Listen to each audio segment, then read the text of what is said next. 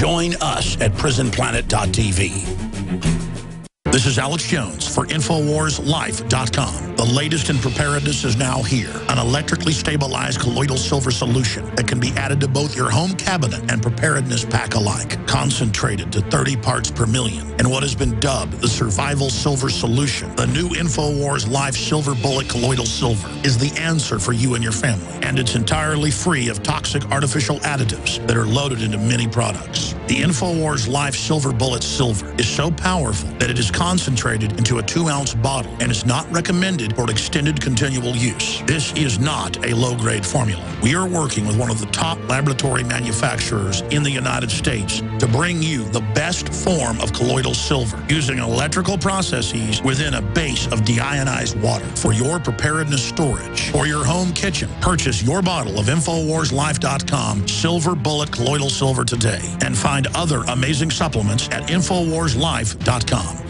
The globalist social engineers are not just targeting us with propaganda. They are manipulating our genetics. We are being targeted at every level by estrogen mimickers that lower our testosterone and other hormones and natural compounds that the body needs. After consulting top doctors, nutritionists, pharmacists, and others, we have developed what I believe is the ultimate non-GMO organic super male vitality formula sourced from powerful organic herbs and then concentrated for maximum potency, Super Male Vitality was developed to activate your body's own natural processes instead of using synthetic chemicals. Super Male Vitality by InfoWars Life is so powerful that I only take half the recommended dose. For a limited time, we are offering 15% off Super Male Vitality at InfoWarsLife.com to introduce you to this powerful supplement. Visit InfoWarsLife.com today to secure your Super Male Vitality. InfoWarsLife.com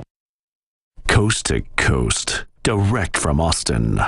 You're listening to the Alex Jones Broadcasting Network. Network. Now, George Galloway, I've been ranting here. I want to give you the floor. Tell us about the film. You're a serious guy. Eh, basically, everything you said about Iraq came true, more than anybody, even more than Ron Paul or myself. What you said came true like it was, you know, prophetic. So you're a serious guy. If you think Ken Lay is really still alive, we're investigating it. I think he is. The evidence is there.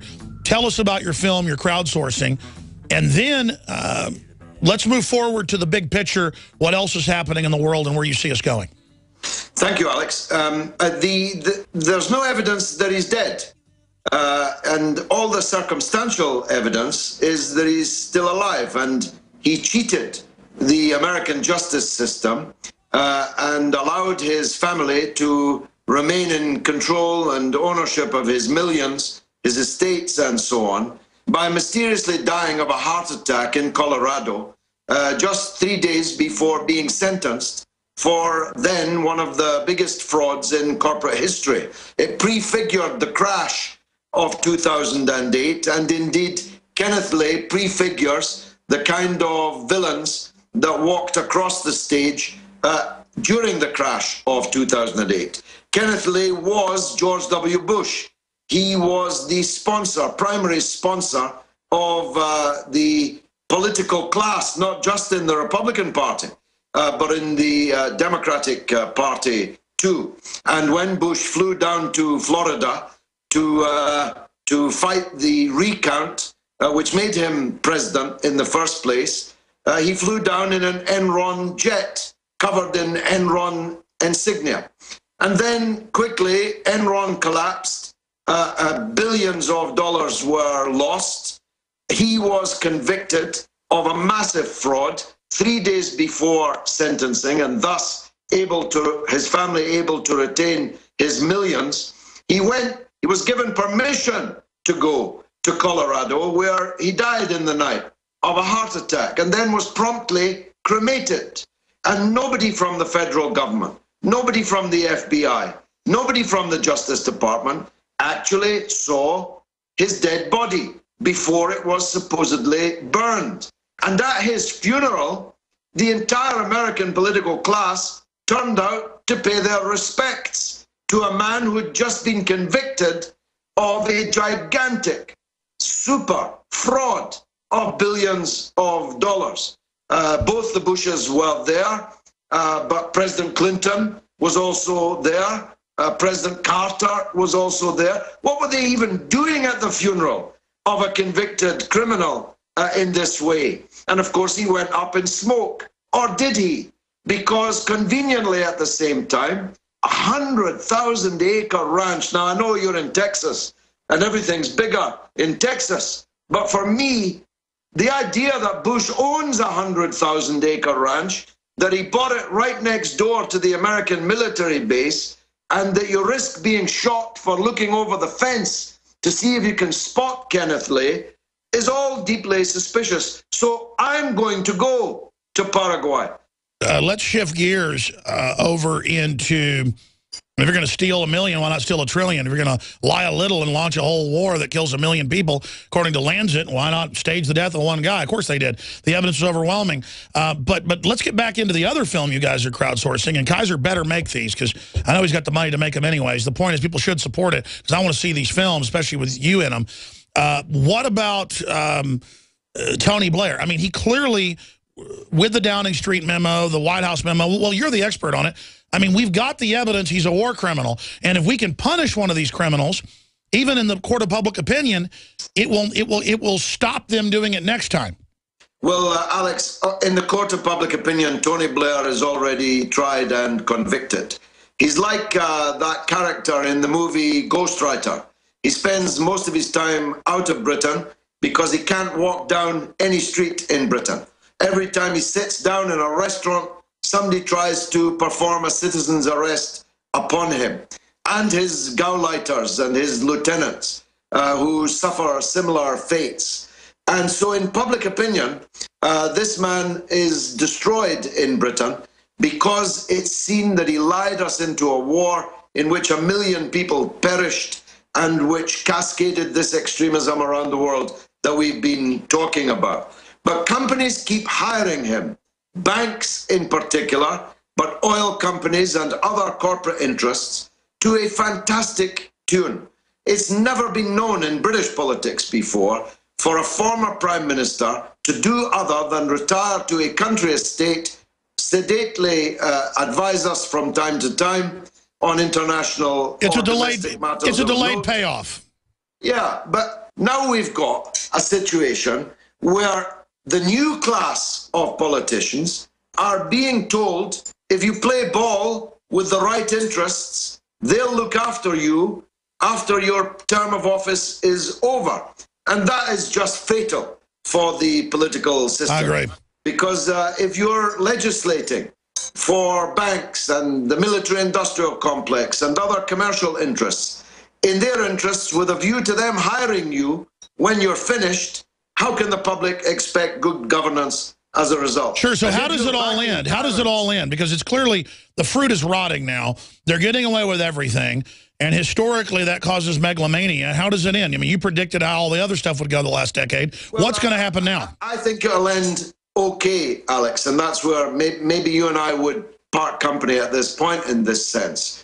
Because I believe that the fruit is rotting, it's falling off the trees in the sense that people have absolutely no faith in the political class which governs them, and they're right not to do so. Oh no, I agree with you. Uh, I agree uh, with you. That does not yet have a form, a physical form of an alternative power. At least not in your country or mine. In many other parts of Europe, for example, an anti-political class is uh, beginning to germinate. To continue your uh, your uh, metaphor, uh, and is uh, bearing new fruit. Some of it I like, some of it I don't like, but it's all uh, new power coming through because people have entirely lost faith in the old ways.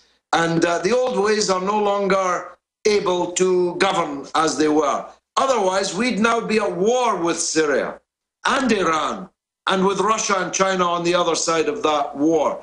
In the British Parliament, we stopped dead the juggernaut of war which was about to take off and begin bombing Syria.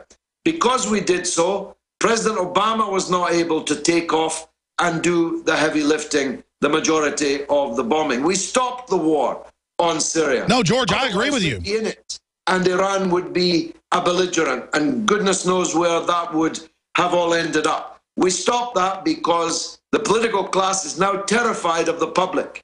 In Britain, uh, the politicians know that the public hate them, regard them as thieves who fill their own pockets with the public's money sure. and legislate for corporate interests, for vested interests, rather than in the interests of the people.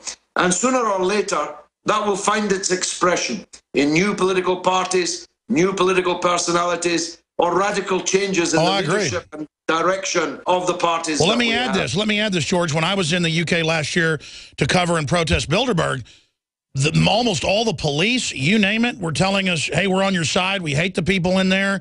We know this is going on. We know there's a shadow government.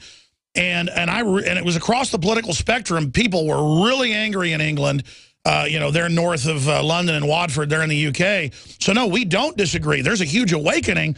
But the political class is militarizing and racing to authoritarianism and having the NSA and, uh, you know, your NSA spy on Parliament, spy on the Senate to the point of, I mean, the battle's being joined is what I'm saying. No, I, well, I agree with that. I, am just, I think, a little more confident uh, than you. Perhaps I'm not. Uh, forgive me if I'm wrong. That we will prevail. Uh, I don't believe we will go to authoritarianism. Fascism is not possible in the United States or the United Kingdom. I don't think the people would tolerate it. But that's not a fruit that falls off the tree. You have to shake the tree to make sure that people uh, avoid that uh, perilous uh, fate. Uh, on that, definitely, we would agree. Uh, all that's required for the triumph of evil is that good men and women do nothing. That's right. And we've got to make sure, and uh, you're busy on that, so am I. We've got to make sure that the people do what's necessary sure. to do to stop that fate. Well, I want to get you back as soon as you go down there to try to cover his ranch and give us coverage. And GeorgeGalloway.com, uh, RespectParty.org. I really appreciate you spending time with us, and uh, you've really went up against a lot. You know, they tried to destroy you when you exposed the Iraq War, and we, we all admire courage. So thank you so much for your time, George Galloway. Thank you, Alex. It's been a pleasure. Thank you, sir. Wow, that was a powerful interview, and that guy's got a lot of courage, folks. I mean... I mean, let me tell you, they were killing people over in the UK opposing the war. And he was getting threatened. They were trying to put him in jail and stuff. And so you can say what you want about George Galloway. He has got a lot of courage. And we appreciate him coming on the show. And I hope those movies get made. All right, I'm going to come back, take phone calls in the next segment, the one after that.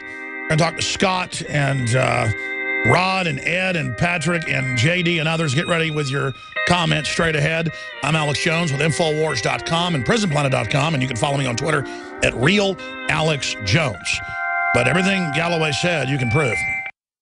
A chemical spill contaminating the water supply in nine West Virginia counties. This year alone, over 300,000 people in West Virginia had their drinking water contaminated. What are the health effects of having these drugs in our drinking water? It's forced medical treatment without the consent of residents. My friends, water filtration is one of the most basic actions you can take to protect you and your family from the harmful toxins and heavy metals in your tap water. On average, the county says it sprays with the glyphosate at least once a week. Few filters cut out the glyphosate that is found in water supplies worldwide. Remove pesticides, herbicides, chloramines, hydrofluorosilicic acid, sodium hexafluorosilicate. Fluoride it is in tea, it's in coffee, it's in water, it's in bread, it's in toothpaste. It is our responsibility to protect our families. The establishment's not going to do it. It's time to take action. It's time to filter our water. Visit InfoWarsStore.com and use promo code WATER to get 10% off their entire family of incredible products. Or call toll-free 888-253-3139.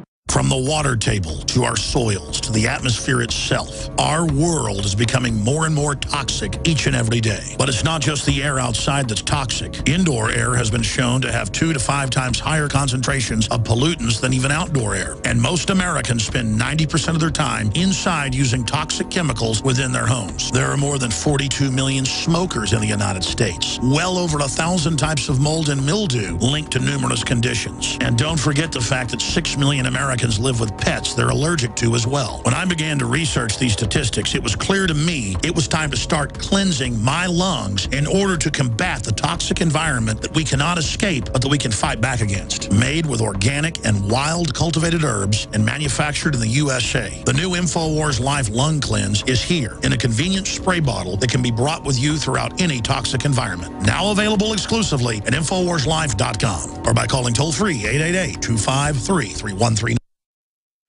Coast to coast, direct from Austin. You're listening to the Alex